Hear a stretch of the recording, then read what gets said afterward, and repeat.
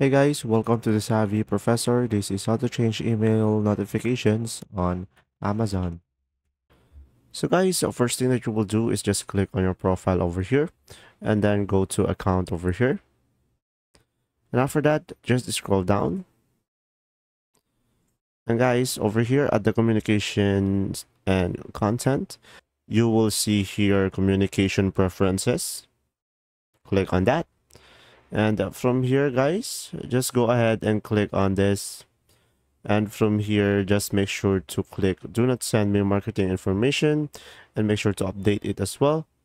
And from here also uh, check these uh, boxes over here. As you can see i have everything checked. You can just click on this and click on update.